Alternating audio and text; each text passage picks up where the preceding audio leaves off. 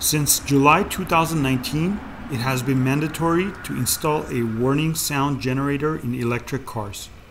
This is due to a new EU directive. This stipulates that initially in a newly certified hybrid, electric, and fuel cell vehicles, also trucks and buses, the Acoustic Vehicle Alerting System AVAS must be installed for the protection of the other road users. In Europe, the acoustic warning is mandatory up to a speed of 20 kilometers per hour.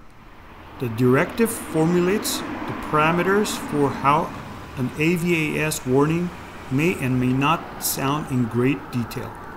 This applies, for example, to the minimum and maximum sound volume and the certain sound components.